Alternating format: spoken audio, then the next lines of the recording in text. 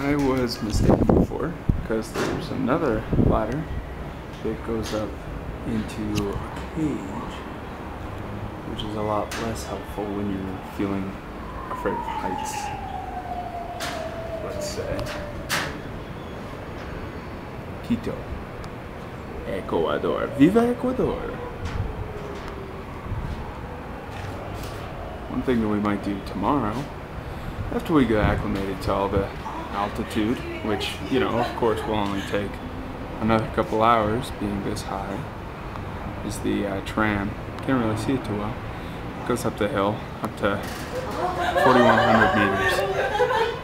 Oh shit. What's he doing down there? I thought you were being We are high.